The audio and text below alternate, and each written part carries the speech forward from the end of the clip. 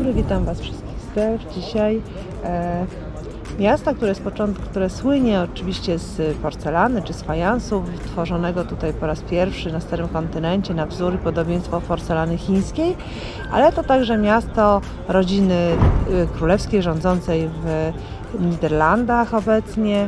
Teraz rządzi miasto tak naprawdę Wilhelma Orańskiego.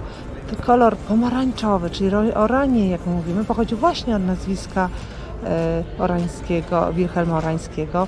Najpierw było nazwisko, później było Orange po angielsku, no i teraz są oranie. Popatrzmy dzisiaj, jak wygląda to miasteczko. Bardzo urocze. Jesteśmy wcześnie dość tutaj, więc jest jeszcze cicho i spokojnie. E, no więc popatrzymy na miasteczko, popatrzymy trochę na porcelanę, no i cieszmy się tym dniem.